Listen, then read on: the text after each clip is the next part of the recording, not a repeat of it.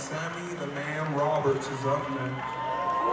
I going to put you here. I have some CDs, vinyl, a few shirts left. Maybe come find me at the table after.